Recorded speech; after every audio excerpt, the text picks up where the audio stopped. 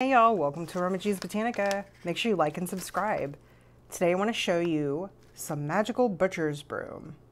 Get you a close up, pour some out for you. So butcher's broom can be used for magical protection and in banishing magic. It removes all negative influences surrounding your life. It increases your psychic abilities and helps you tune into your third eye, especially for divination purposes and it's associated with Mars energy and the element of wind. And if you'd like some, you can get it at www.aromagees.com. Thanks so much for visiting us today.